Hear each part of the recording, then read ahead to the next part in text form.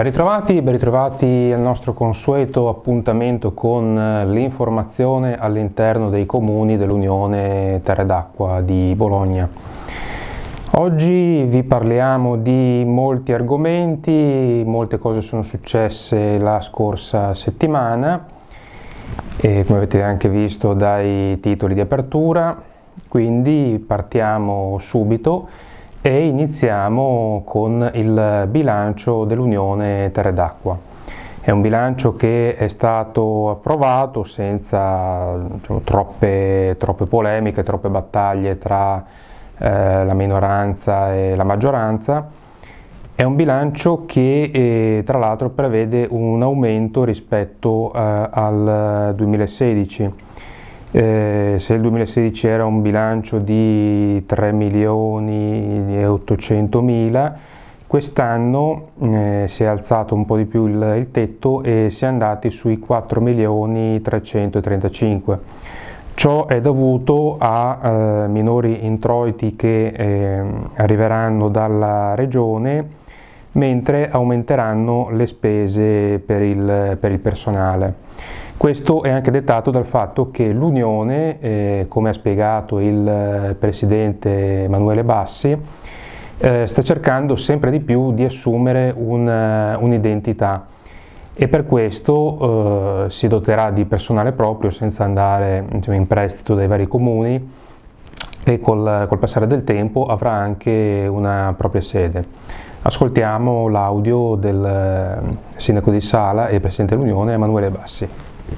L'Unione non è statica, per cui noi stiamo provando ad inserire nuovi servizi all'interno dell'Unione, il nuovo assessore che si sta, il nuovo sindaco, assessore bilancio che se ne sta occupando è il sindaco di San Giovanni per Siete Delegati, che credo che abbia fatto nel, un buon lavoro nel, nel, capire il bilancio dell'Unione, nel mettersi dentro proprio e cercare di eh, risparmiare il più possibile, visto che questo è l'intento non solo del, del, del, dell'assessore delegato, ma anche di tutti gli altri sindaci. Eh, però logicamente inserendo dei nuovi servizi, avendo bisogno di nuove tecnologie dando, e, e, volendo che i servizi sono, siano migliori rispetto a quelli che erogano i singoli comuni, bisogna anche investire. Per cui non è detto che tutti, tutti gli anni il bilancio dell'Unione sia pareggio, ma bisognerà che i, i comuni investano su, sull'Unione per, garantire per ampliare servizi sempre più efficienti. Poi il personale, anche noi stiamo per strutturare un'unione, bisogna che ci sia del personale che sia dell'unione. Eh, bisogna che finiscano un po' tutti quei rapporti che c'erano di personale che aveva, erano a metà tempo in, in, alcuni comuni e l'altra metà del tempo all'interno de, dell'unione. Bisogna che i dipendenti siano totalmente dell'unione e che l'unione abbia una sua entità, entità che vuol dire anche vedere se prossimamente ci stiamo impegnando, eh, si riuscirà ad avere anche una sede dell'Unione in cui dentro ci sono tutti i suoi funzionari dipendenti e che eh, se un cittadino ha bisogno dell'Unione non è un comune, San Giovanni, Sant'Agata, Anzola, ma eh, è l'Unione di Terre d'Acqua per cui lì ci si trova la sede, si trovano i servizi per capire anche meglio cosa fa l'Unione e quali sono i servizi che eroga. Un po' tutti d'accordo, insomma. Ecco, abbiamo ascoltato il Presidente dell'Unione, vi riportiamo anche il parere del consigliere di opposizione Gabriele Gallerani eh, che sostiene che si tratta di un bilancio difficile perché vengono, si scontano scelte di gestione sulle quali in passato sono stati espressi forti dubbi, come ad esempio il SIAT e il Corpo di Polizia Municipale e eh, sono emerse le difficoltà di un'unione che non vede più i singoli comuni agire, in forma completamente autonoma, eh, ma non, è, non, si tratta ancora di un, di un, solo, di un unico comune. Questi sono i dubbi eh, espressi da, da Gallerani, che ha anche evidenziato come vi siano dei punti condivisibili, altri, eh, altri un po' meno, anche espresso la uh, possibilità di poter uh, svolgere politiche il più unitarie possibili con uh, le varie partecipate come ad esempio Era, Virgilio, Matilde e Geovest, anche se non, eh, non si tratta di un, eh, di un compito del, dell'Unione.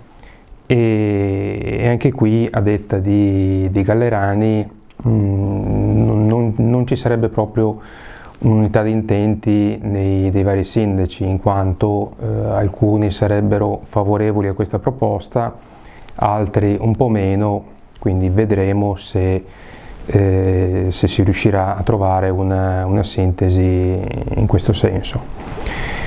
Voltiamo pagina e cambiamo argomento.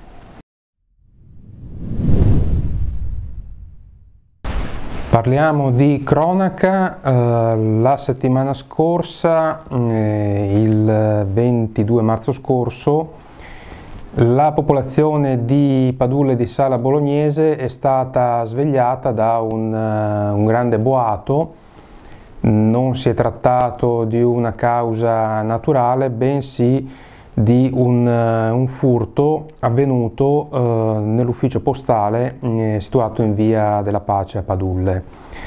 I ladri hanno infatti eh, fatto saltare il, il bancomat, eh, hanno usato del, dell'esplosivo, dell'esplosivo, una sostanza deflagrante e sono fuggiti con eh, un bottino, eh, secondo le forze dell'ordine, di circa 10.000 euro, forse anche eh, un po' di meno, visto che il eh, il denaro contenuto nel, nel bancomat, forse una parte è anche andato, andato distrutto.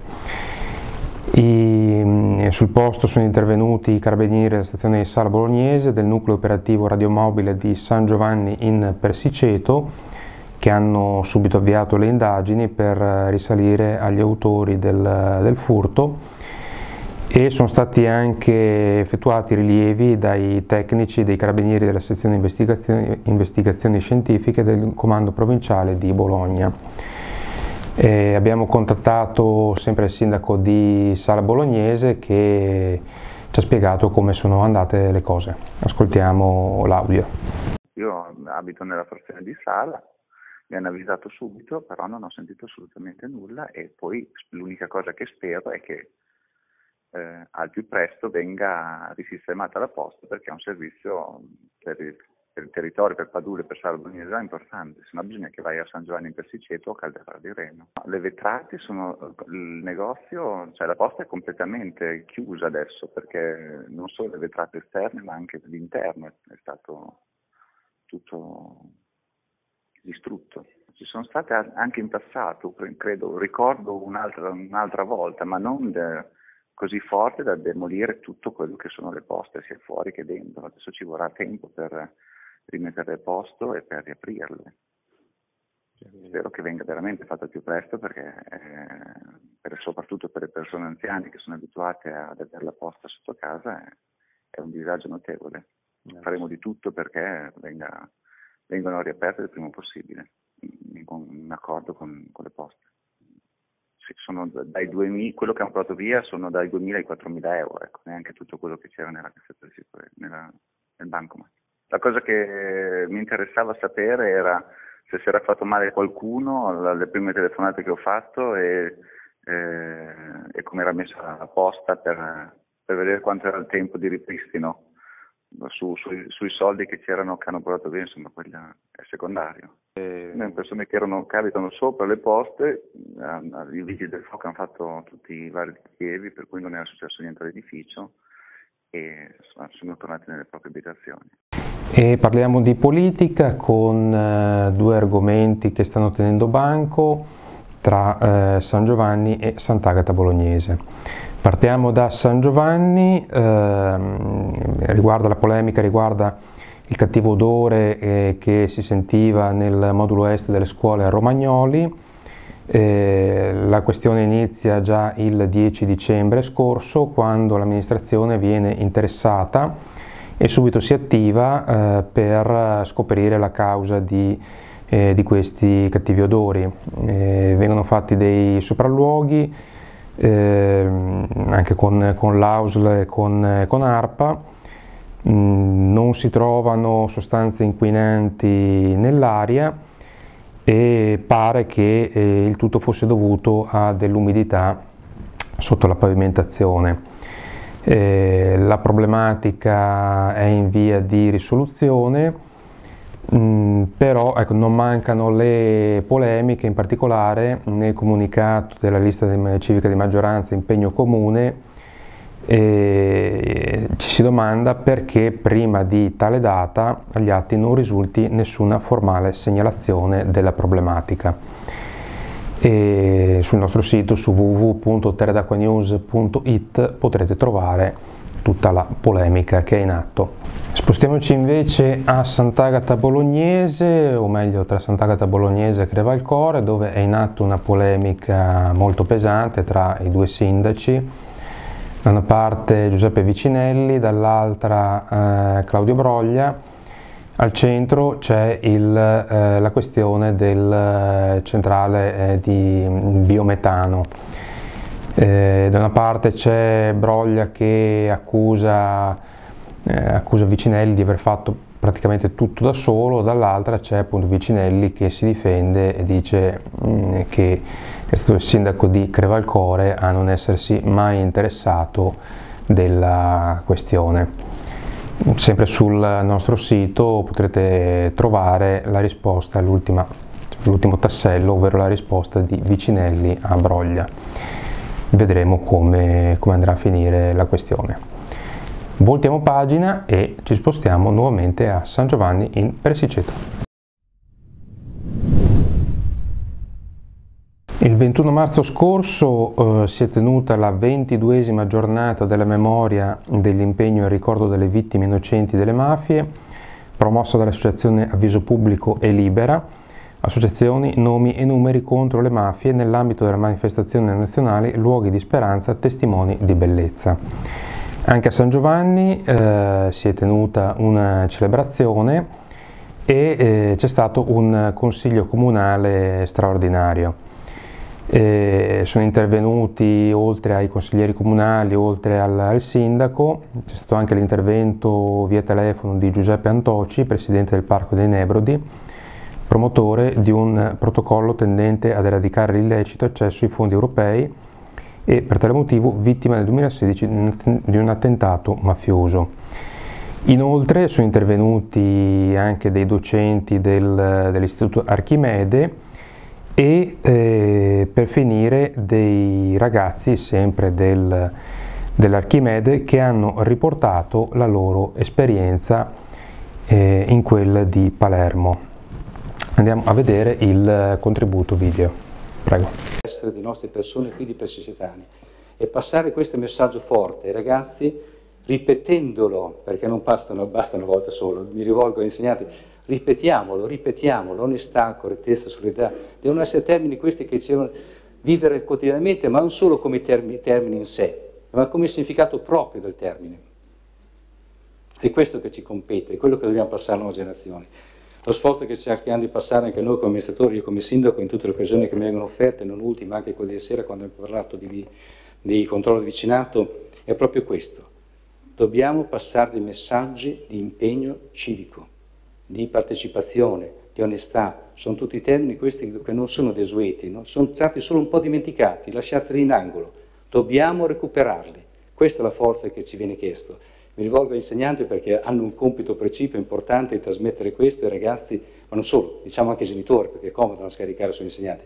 Anche genitori, tant'è che abbiamo detto stamattina, dicevo anche ai referenti delle forze dell'ordine, potremmo attivare, anzi chiediamo di attivare gli incontri proprio anche con i genitori perché si parli di questi termini, in questi termini.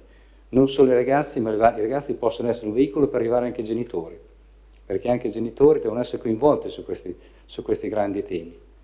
La legalità non è, non è, di altri, è nostra, l'onestà è nostra. E allora se tutti noi riusciamo a passare questo messaggio, probabilmente riusciamo a essere vincenti, lontani e vicini. Grazie. Veramente un abbraccio forte per tutti voi ma oggi è una, veramente una giornata speciale, io sto tornando in Sicilia da Locri e pensare che l'Italia è unita in questo bel momento eh, di lotta alla mafia, quella praticata, quella che fa i risultati, ma fa, le fa soprattutto nella coscienza di ognuno di noi.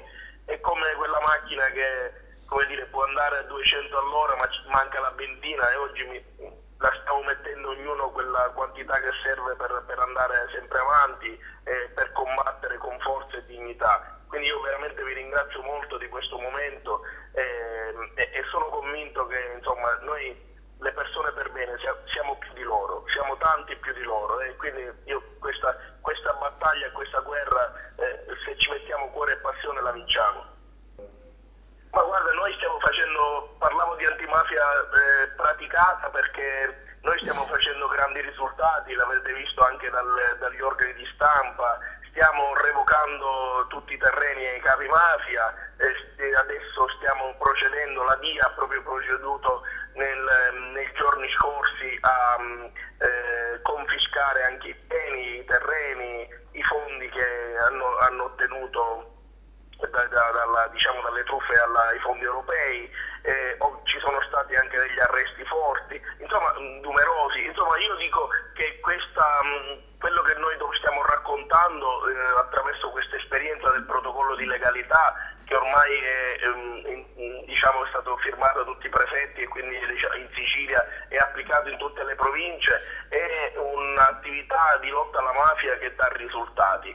E io penso che una parte importante di messaggio che va lanciato è proprio quello di raccontare un'antimafia che fa i risultati, cioè di dire alla gente che eh, facendo la lotta alla mafia con gli strumenti giusti, ehm, dando la possibilità veramente di lavorare alle forze dell'ordine e alla magistratura cercando di, ehm, eh, anche di, di, dare dei segnali giusti, di non decrementare i tribunali e i magistrati e, e di dare ehm, forza attraverso strumenti ehm, e anche fonti finanziarie alle forze dell'ordine, perché nella società civile questa forza eh, di squadra e ritagliandosi ognuno un pezzettino di responsabilità sta passando e passa sempre di più se noi raccontiamo quello che otteniamo nella lotta alla mafia. Non basta dire che la mafia è brutta, che la mafia eh, non va bene, di raccontarlo nelle scuole, noi dobbiamo sempre più raccontare invece i risultati. E i risultati in questo territorio sono quello che Cosa Nostra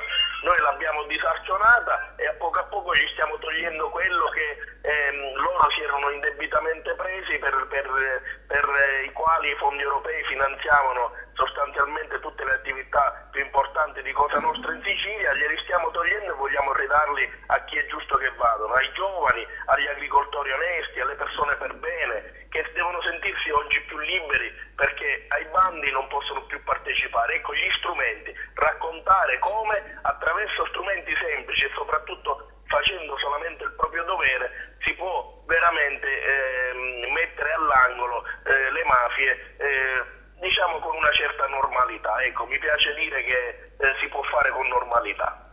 Adesso aspettiamo il contributo degli studenti che hanno partecipato ai campi, quindi Laura Della Rola, Diego Fellin e Alessandro Frabetti. Prego.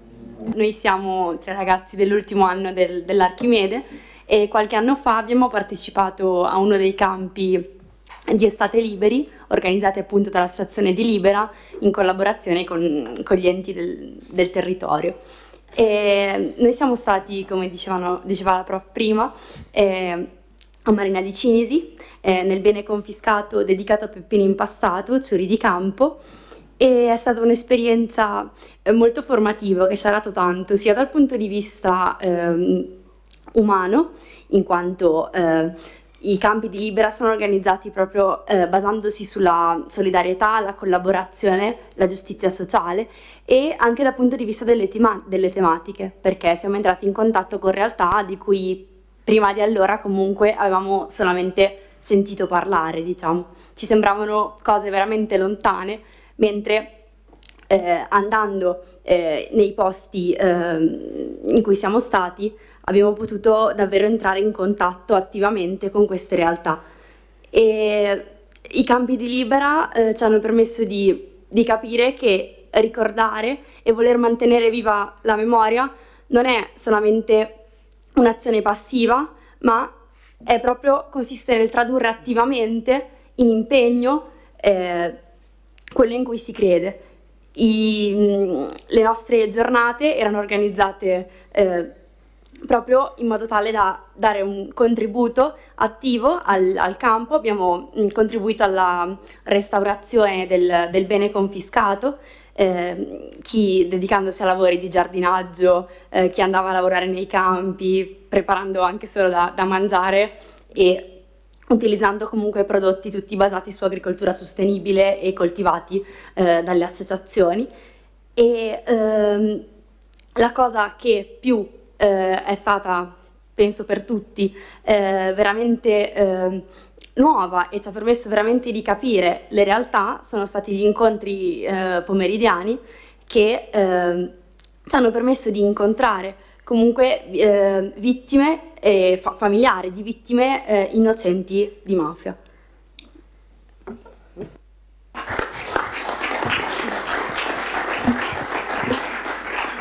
L'incontro che, buonasera a tutti, l'incontro che a me mi ha toccato più nel profondo è stato quello con Antonio, lo chiamerò così, ma capirete soltanto alla fine della mia storia perché l'ho chiamato così.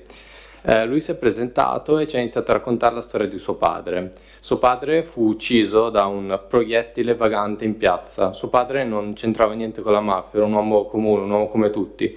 Lui era una vittima innocente di mafia e sono state decine le vittime innocenti di mafia.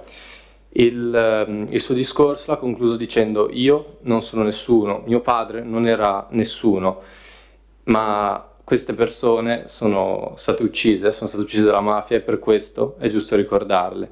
Poi certamente ci sono altre persone, forse il cui cognome è più altisonante come eh, Peppino Impastato, infatti noi abbiamo parlato anche col fratello di Peppino Impastato, Giovanni. Ehm sì, buonasera.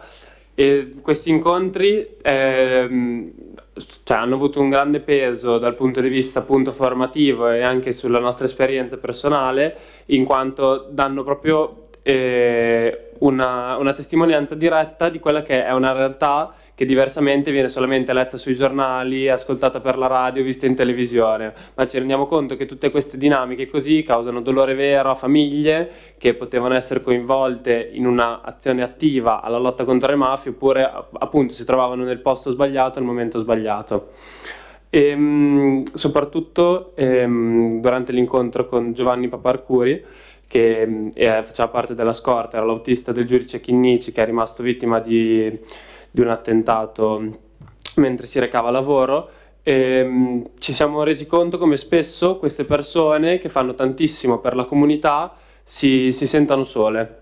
Sole nella lotta contro questa sorta di chimera che spesso non eh, sembra, cioè, sembra eh, inestirpabile quanto è radicata nella mentalità di tutte le persone e quanto è diffusa all'interno appunto del, ehm, del, della società, ma è importante attraverso queste testimonianze e, e, questa vicinanza anche da parte nostra che ci troviamo molto lontani da, da, dalla Sicilia eh, per far sentire appunto la nostra vicinanza. Inoltre ci siamo resi conto parlando, girando tutti insieme con le stesse maglie appunto di Libera eh, in giro per la città di Palermo come comunque venga smossa anche la coscienza, l'attenzione dei cittadini che ci vedono passare.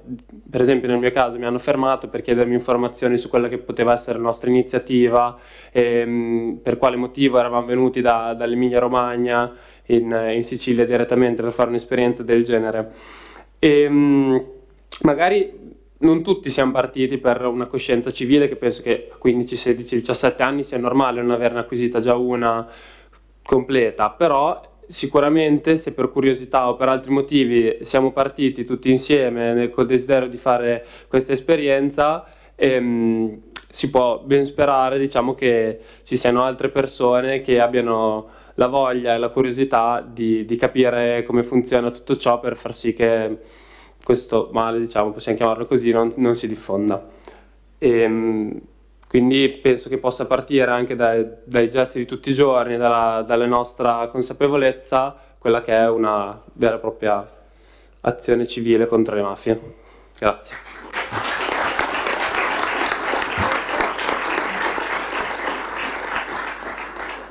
Penso che la maggior parte di voi abbia sentito dei fatti accaduti ieri, cioè delle scritte sui muri contro Libera e vorrei leggere per concludere il nostro intervento il messaggio di Don Ciotti che è il fondatore di Libera. Questi vili messaggi, vili perché anonimi, sono comunque un segno che l'impegno concreto dà fastidio, risveglia le coscienze, fa vedere un'alternativa alla rassegnazione e al silenzio. Grazie a tutti.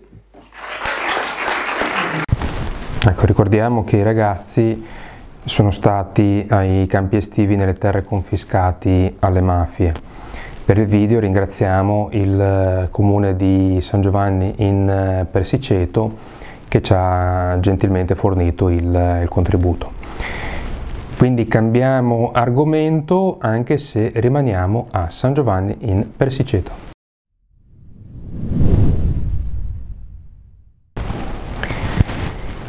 Parliamo di FIAB, l'associazione degli amici della bicicletta. Eh, sabato 25 marzo si è tenuto un uh, convegno che eh, ha voluto fare il punto della situazione mm, per quanto riguarda il tratto ciclistico Bologna-Verona, eh, il famoso Eurovelo. È stato fatto appunto il, eh, il punto della situazione con eh, tecnici, con addetti ai lavori e con eh, chi si sta occupando dal punto di vista politico della questione. Eh, purtroppo il, i lavori subiranno un ritardo, quindi non si tratterà mh, più del 2018, bensì del 2019 eh, ascoltiamo il, eh, l'intervento del tecnico della città metropolitana. Prego col servizio. Questi sono i tempi. Oh, sui tempi devo dire che a noi tutti piacerebbe fare molto prima rispetto a quello che eh, purtroppo a volte succede quasi sempre. E il nostro obiettivo era finire, se qualcuno di voi se lo ricorderà, anzi sono certo che vedo chi nel passato ha avuto anche responsabilità politiche, eh, si ricorderà appunto che il nostro obiettivo era arrivare entro il 2018, ora c'è stato uno slittamento, arriveremo al 2019, speriamo di arrivare all'ultimazione dei lavori al 2019, nel senso che oggi stiamo per approvare il progetto definitivo a giugno, a ottobre l'esecutivo, a marzo ci dovrebbe essere la conclusione della gara d'appalto, a luglio dell'anno prossimo la consegna dei lavori e poi c'è una realizzazione suddivisa in due lotti, uno più semplice, quello nord, perché ha degli attraversamenti che sono già adeguati, invece quello sud ha il problema con i ponti RFI, ma questo un tema molto di dettaglio, quindi un primo impegno è quello che in questo momento con la regione Emilia Romagna stiamo cercando proprio di confezionare in modo che almeno a gennaio ci sia, quindi diciamo dicembre 2018, così come era stata la prima promessa, ci sia metà del tracciato, cioè Prevalcore, Camposanto e, e, e non solo, perché dovrebbe arrivare fino a Mirandola, e la seconda parte invece viene realizzata nel 2019, concludendo l'intero progetto nel 2019. Questa è un po' la tempistica, ci sono attività in corso ovviamente molto concitate perché è un periodo in cui eh, ci troviamo molto spesso con, uh, con, il gruppo di lavoro, un gruppo di lavoro fatto prevalentemente da città metropolitana e regione Emilia Romagna, un gruppo di lavoro sia tecnico che politico e mh, mm, entro il 2017 noi abbiamo bisogno di eh, entro giugno 2017 abbiamo definito una data nella quale dobbiamo definire alcuni aspetti essenziali. Non tutto è risolto, è difficile perché cioè, bisogna sempre stare sul pezzo perché eh, i problemi sono sempre molto consistenti e c'è una serie di, di, argomenti, tra cui la disponibilità delle aree, la definizione del percorso dei tratti esterni, la segnaletica e tutto il tema della partecipazione e della comunicazione del progetto, questo fatto che c'è un interesse diretto del governo su questo progetto, come, come relazionarci con questo interesse diretto. Abbiamo anche recentemente ricevuto dei segnali molto forti dal governo su quanto stanno puntando. Ci sono due ministeri direttamente interessati, ambiente e infrastrutture. Rimaniamo a San Giovanni in Persiceto e vi mostriamo alcune immagini eh, di un evento che si è tenuto sempre sabato 25. Si tratta dello spettacolo del cuore. È un appuntamento a cui noi non manchiamo praticamente mai, lo seguiamo con attenzione ogni anno. È uno spettacolo organizzato in favore dell'associazione Piccoli Grandi Cuori Onlus il, deus ex machina del, di, questo, di, questo, spettacolo. È Moreno Cavallotti della Incanto School di Sant'Agata Bolognese e Bologna.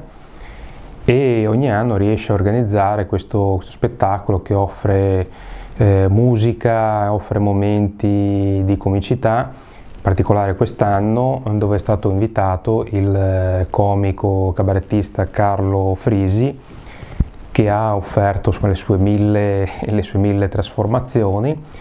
Noi lo abbiamo intervistato, quindi ascoltiamo un piccolo, diciamo, una piccola anticipazione dell'intervista e vediamo anche una, un'altra anticipazione dello spettacolo.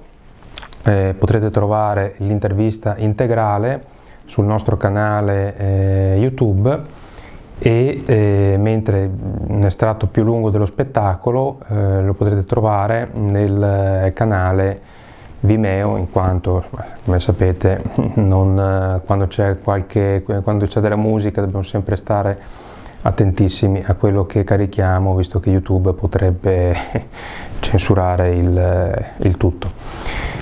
Quindi vediamo alcuni momenti dello spettacolo del cuore. Via col video. Teradacqua News, San Giovanni in Persiceto, Teatro Fanin. Ci troviamo qui per lo spettacolo del cuore, un appuntamento ormai imperdibile che seguiamo tutti gli anni dodicesima edizione e ci troviamo nel camerino prima dell'inizio con l'ospite d'onore della serata, Carlo Frisi, benvenuto. Grazie, grazie, mi fa molto piacere, sono molto contento di essere qua, questa bellissima causa che insomma, trovare, fare una serata sempre eh, in beneficenza per, per raccogliere fondi mm, non è una cosa brutta, anzi tutt'altro. Allora, infatti poi lo diranno durante lo spettacolo, sono moltissimi i fondi che sono stati raccolti nel corso di tutti questi anni. Sì, infatti. Mm. Ecco. Ho visto dai, tanti ospiti, tante cose, quindi eh, sono contento di, di poter partecipare e dare il mio apporto alla manifestazione. È la prima volta che vieni a San Giovanni in Persiceto? È la prima volta, è la prima volta che vengo, nonostante sono di Rimini, originario di Rimini, adesso risiedo da dieci anni a San, Pari, a San Marino, eh, ho la mia famiglia lì, eh, però è la prima volta, infatti mi incuriosisce molto la serata e conoscere per la prima volta anche il pubblico di San Giovanni. Ecco, tu eh, sei un, uh, un comico, un, un, cabarettista che ha iniziato molto presto e ha avuto il grandissimo vantaggio di conoscere grandi nomi della, della comicità all'italiana. Eh, Gino Bramieri, Gigi Sabani, e purtroppo non ci sono più, avrebbero ancora molto da insegnare sicuramente. E vuoi dire un ricordo, che cosa ti ricordi di loro, una, qualche aneddoto? Guarda, eh, sono legato a entrambi un profondo affetto e nel mio ufficio ho due belle immagini loro che, che le vedo tutti i giorni o almeno tutte le volte che vado lì. Eh, Gino Bramieri, eh, eravamo io, Gino Bramieri, Dino Verde, grande autore, Pietro Garinei, grande regista teatrale e Romolo Siena, regista televisivo, quindi era un, una cosa esagerata per me che ero giovanissimo, è stata una cosa molto bella. Lui mi ha sempre accolto con affetto, mi ha aiutato moltissimo anche in scena dove ero molto emozionato con questi mostri sacri e quindi mi ha detto vai sempre tranquillo, è una cosa che ricordo sempre con, eh, con affetto, mi ha detto stai tranquillo Carlo che mangerai sempre. Eh, questa è una cosa molto bella.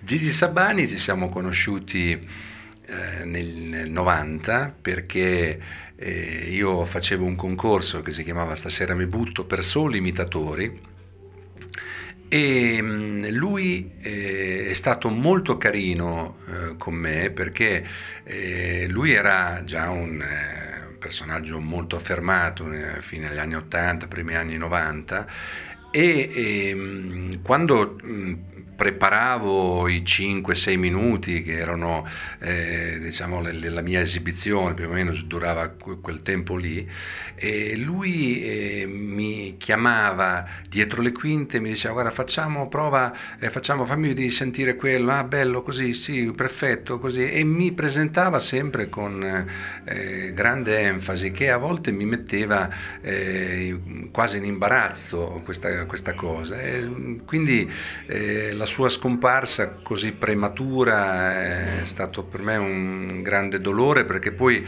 negli anni successivi a quella edizione di Stasera mi butto mi ha sempre dimostrato grande affetto, ovviamente contraccambiato, eh, con eh, altre apparizioni, altri sketch che abbiamo fatto insieme anche di grande successo di ascolti, con grande successo di ascolti e quindi mh, la sua prematura scomparsa mi ha lasciato così un grande dispiacere e un grande dolore, però di entrambi ho un grandissimo ricordo. E, speriamo che in questo momento siano da qualche altra parte a far ridere eh, qualcuno da qualche altra parte. Eh, parlando delle, delle imitazioni, eh, c'è una vittima che prediletta, eh, una che proprio non, nei tuoi spettacoli c'è e ci sarà sempre? Ma ehm, una, una mia imitazione che ha avuto successo è stata quella di Aldo Biscardi e la feci nell'86 nel primo talent della televisione italiana che era fantastico con Pippo Baudo. E ehm, lì per la prima volta ho fatto Aldo Biscardi era il 1986, quindi non c'erano i cellulari, lui rimase molto contento della mia imitazione e mi cercò in Rai, in Rai eh, dietro il numero della casa dove, dove stavo, ero a casa di un amico e lui chiamò il mio amico, non c'era nessuno, lasciò un messaggio in segreteria. E il mio amico, appena sono tornato a casa, mi ha detto: Ah, Carli, bello lo scherzetto che mi hai fatto con la voce dei Biscardi, no?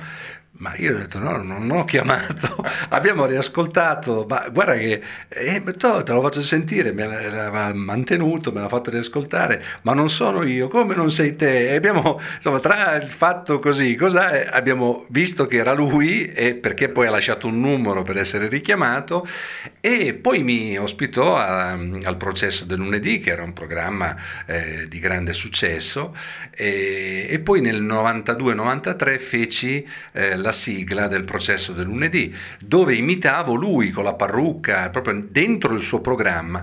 E mi ricordo che lui, quando abbiamo registrato la sigla, mi disse dalla, dalla regia, tu mi devi prendere in giro di più, di più, più, e che a me già sembrava di aver fatto l'ira di Dio di cose. E lui era strafelice, addirittura il, eh, il finale della sigla diceva, gentile telespettatore, adesso ecco a voi Ald Biscard. E lui in diretta, grazie, grazie, grazie. Beh, io ero stato un anno bellissimo e lui è stato eh, il personaggio mh, straordinario che, anzi, come ti dicevo prima, diceva che dovevo osare ancora di più e fare ancora di più. Quindi un, per me è stata una, una, bella cosa, un, anche questo un bellissimo ricordo di un grosso personaggio eh, che ancora può dare tante cose belle a,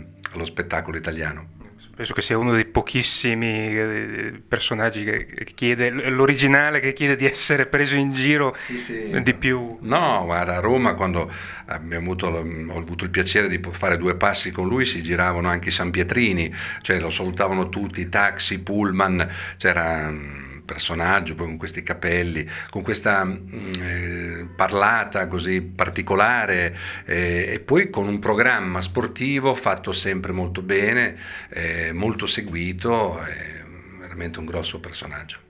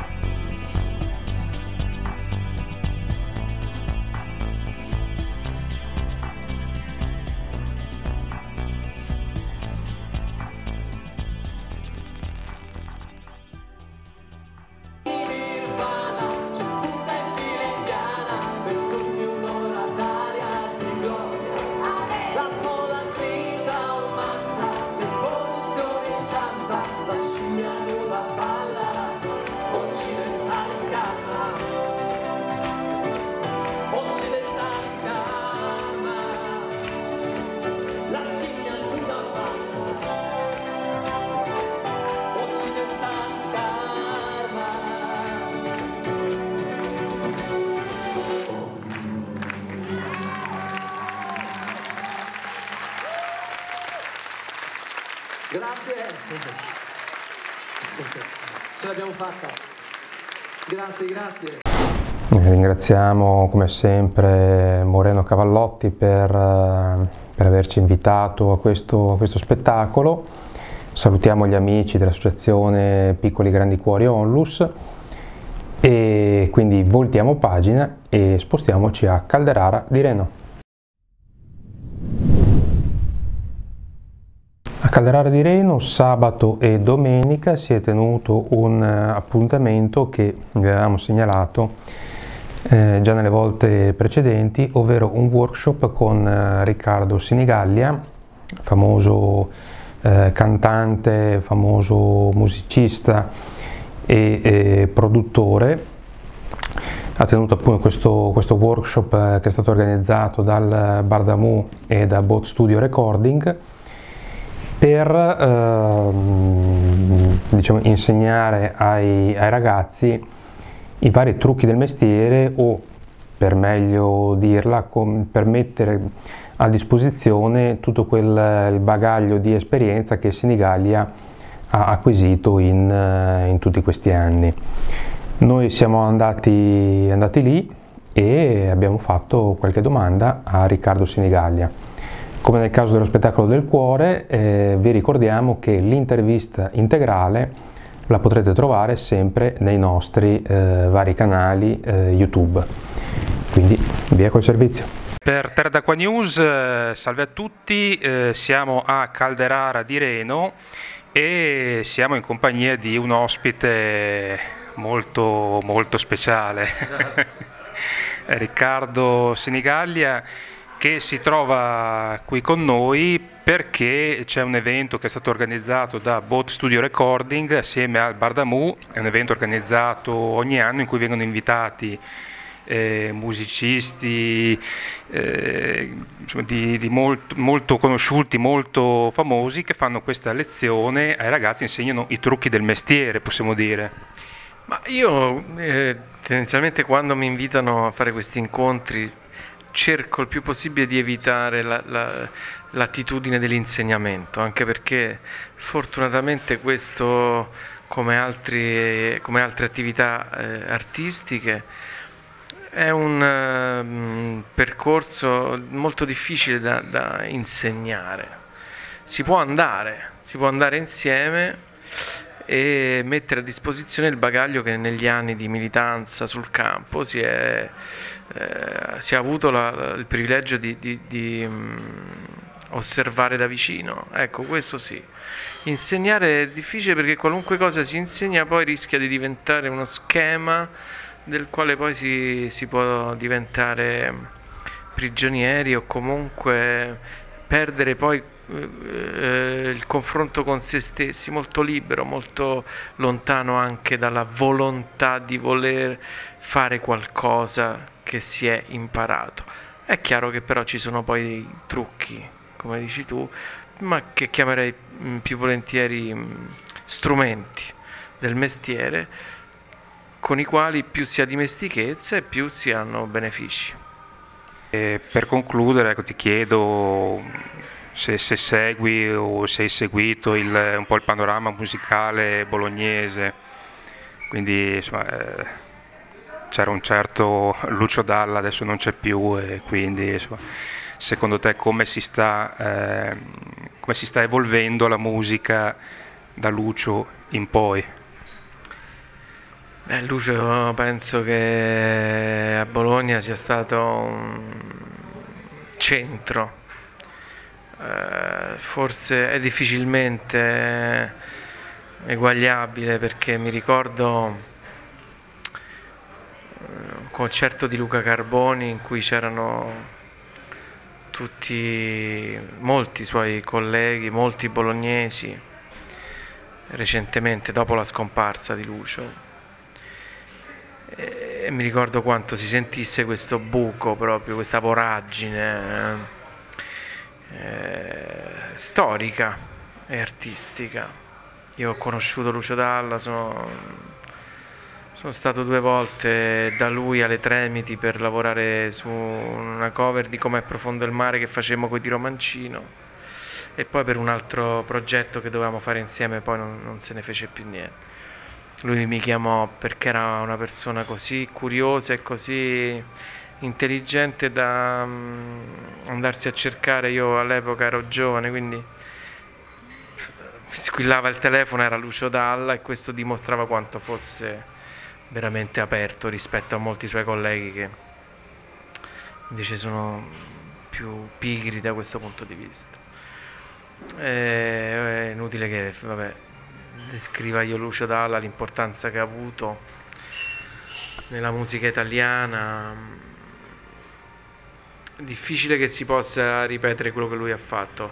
Bologna è sicuramente, come dice Luca Carboni, una regola perché uno standard um, stilistico, cioè ha, ha, una taratura mm, sotto la quale non, non si può scendere, e quindi sarà sempre un centro. Basta citare tanti artisti, non solo Lucio Dalla, ma anche appunto Luca Carboni stesso, ma anche Claudio Lolli, Guccini, insomma tutti quelli che, che da Bologna sono passati e che comunque hanno, hanno preso e lasciato qualcosa da, da, da qua. Eh, anche più recentemente, io mi ricordo il periodo dei sangue misto a livello 57, per me fu decisivo, cioè per me Bologna è sempre stato un centro fondamentale per la musica italiana e anche più recentemente insomma so che c'è molto fermento e quindi aspettiamo delle nuove uscite importanti. Con questa ultima riflessione, questa bellissima riflessione, se mi posso permettere, l'intervista si chiude qui, noi ti ringraziamo e speriamo di poterti rivedere ancora, magari insomma, anche in qualche concerto, chi lo sa. Certo. Anzi, insomma, se, se hai qualcosa che... No, no, perché sto finendo il disco eh, appena sarà finito il disco partiremo per un nuovo tour, quindi ci sarà nel, insomma, nel giro di poco tempo un nuovo disco, un nuovo tour e passeremo da Bologna ovviamente. Perfetto, allora ti aspettiamo qui. Grazie ancora e per Terra d'Acqua News, Calderara di Reno, linea allo studio. Ringraziamo per la disponibilità Riccardo Senigallia e anche Bardamu e Bot Studio Recording per averci dato l'opportunità di appunto, intervistare Senigallia e anche per insomma, tutti i vari incontri che organizzano ogni anno per, eh, per i ragazzi, per i, tutti i musicisti che hanno voglia di eh, confrontarsi con eh, chi ha molta più esperienza di loro ed è riuscito a, ad arrivare al successo. In chiusura vi ricordiamo come sempre i vari, vari appuntamenti che ci sono nell'Unione di Terre d'Acqua, in questo caso ci concentriamo in quel di Calderara, non se ne vogliano gli altri comuni, eh, però ci sono tre appuntamenti molto interessanti che vi invitiamo a seguire. Il primo è mercoledì 29 marzo alle 21 nel Teatro Spazio Reno eh, ci sarà un incontro su bullismo, cyberbullismo, social e web. Eh, questo riguarda il progetto Mi fido di te, del punto di domanda finale, eh, che è stato svolto dalla Polizia Municipale di Terra d'Acqua. Eh, noi l'abbiamo anche seguito, se andate a vedere uno dei nostri telegiornali oppure cliccate sul eh, link che è in descrizione potete trovare il eh, servizio che abbiamo realizzato. Eh, in sostanza la Polizia Municipale Terre d'Acqua è andata nei vari eh, istituti scolastici del territorio per spiegare ai giovani quali pericoli eh, si annidano nella, nella, rete e perché eh, è sbagliato il cyberbullismo, quindi fare sempre attenzione a quello che si scrive eh, in rete e soprattutto a quello che, eh, che si pubblica, a quello che si divulga, perché una volta che un contenuto è in rete lì rimane per sempre. Alla serata che ricordiamo inizierà eh, alle 21 mh, mm, parteciperà oltre al sindaco Irene Priolo anche Giorgio Benvenuti, comandante della Polizia Municipale Terre d'Acqua, Emanuela Cardiota, dirigente di didattica e il maggiore Walter Calvi, eh, comandante della compagnia carabinieri di Borgo Panigale. L'evento è, è gratuito. E un altro evento eh, invece sarà sempre a Calderara, ci sarà un'assemblea pubblica giovedì 30 marzo alle 15 al centro Bacchi. E anche in questo caso insomma, si tratterà di mettere in guardia le, le persone, eh, strumenti e contromisure per evitare truffe e raggiri. È, una, um, è un'assemblea a cui aderisce il comune di Calderara eh, alla, alla, campagna Non ci casco promossa da SPI CGL e questa assemblea, se quella di prima era rivolta ai giovani, questa in particolare è rivolta agli anziani per illustrare i diritti dell'essere cittadino e gli strumenti di cui possono disporre per evitare appunto le truffe e i raggiri. Eh, ricordiamo che l'evento si svolgerà giovedì 30 marzo alle 15 al centro sociale Bacchi di Calderare in via Gramsci 53. Eh, interverranno Donato Donini, presidente del centro sociale Carlo Bacchi, Giampiero Falzone, vice sindaco del um, comune di Calderare di Reno, di Reno scusate, Giuseppe Genna, avvocato consulente legale di Feder Consumatori Bologna, Katia Spuri, segretaria eh, della segreteria dello SPI di Calderara, Mario Casadio Loretti, eh, segretario dello SPI di Sala Bolognese, e Vanna Grassi, segreteria SPI di Bologna.